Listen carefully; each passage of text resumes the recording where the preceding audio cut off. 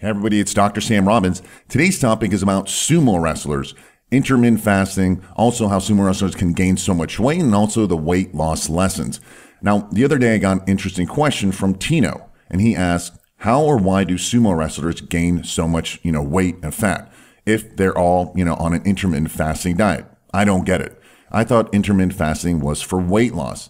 And it's actually a good observation because, you know, he's got a point. For the most part, sumo wrestlers, you know, they skip breakfast, they eat two meals daily during an eight hour, you know, window usually, just like intermittent fasting. However, there are some other differences, and I'll get to that in a minute. Now, today's topic is about how sumo wrestlers can gain so much weight and fat so quickly. And it's an odd topic, but I got a lot of people asking for it, so why not? However, I'm also doing this topic because there are some important weight loss lessons in it as well. I say this because over the years, I've had so many people tell me something like, I don't understand, you know, I eat only twice daily and I'm still gaining weight. Or I skip breakfast and I usually work through lunch and I'm still fat. Or they'll say, I hardly eat anything and I can't seem to lose weight. Now, if any of these statements sounds like you or someone you know, then you should please keep watching. Or if any of these statements are coming from someone you know, then make sure you share this video with them. On the other hand, if the idea of looking like a sumo wrestler is appealing to you, then just follow today's seven simple steps. Okay, so here's how to gain weight like a sumo wrestler. First, they skip breakfast. This helps slow down the metabolism in the morning because actually eating speeds it up. Next, they exercise in a fasted state on an empty stomach for about three to five hours. This increases cortisol and stress hormones, so your body is now in a fat conservation and more of a survival mode. Number three, they eat two large meals daily, typically at 11 a.m. and then eight hours later for their second meal. They sleep after each meal. So the first meal, they sleep four hours. And the second meal that, which is at the end of the day, is an overnight one. So this helps convert the food to, for storage and not being used for energy, especially meal number two when they go right to sleep for the rest of the night. Number five, they eat lots of calories, primarily from carbohydrates, a little bit of protein and almost pretty much no fat. What this does is it causes high insulin blood sugar levels, which stores the food as fat. Number six, they drink lots of beer with both meals. You see, alcohol increases estrogen levels, which increases more body fat, especially beer. Alcohol also stimulates your body to secrete excess levels of cortisol, again, your stress hormone, which in turn causes your body to store fat in the abdominal region, thus creating that, you know, famous beer belly look. Now, this is great for a sumo wrestler because their big belly makes them more stable in the ring. And finally, eat with friends. During the two times they eat, it's done with at least one other person and typically with a few friends or teammates.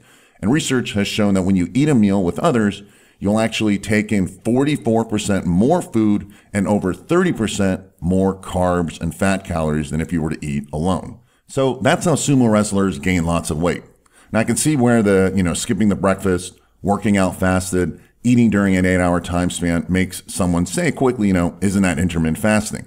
Yes, it is that part. However, there's other factors here. First of all, they eat lots of calories, between 8,000 to 20,000 daily. Listen, when you eat that much food, you're going to get fat. Except the sumo style speeds up the process. They also eat, again, primarily almost all carbohydrates. Uh, as you saw, they drink lots of beer. And finally, genetics. Listen, the wrestling scouts for the boys, you know, they, they, they scout for boys who are athletic, preferably with some martial arts experience and who are also stocky in build with bodies that are just big bone and capable of putting on weight easily. So, what are the lessons that we can take to an intermittent fasting plan if your goal is fat loss and you're not a sumo wrestler in training? First of all, eating one or two large meals isn't a good idea. Several small ones are ideal for better absorption and better hormones. Second, don't have all carbs. Also, you got to eat some protein and fat I like to keep it at 33% each, you know, 33% fat, protein, and carbs. It's a good starting point. Also, as always, total calories still matter. Um, during uh, doing hours of exercise, you know, fasted is going to raise your cortisol and lower your testosterone, burn muscle, and hold on to fat.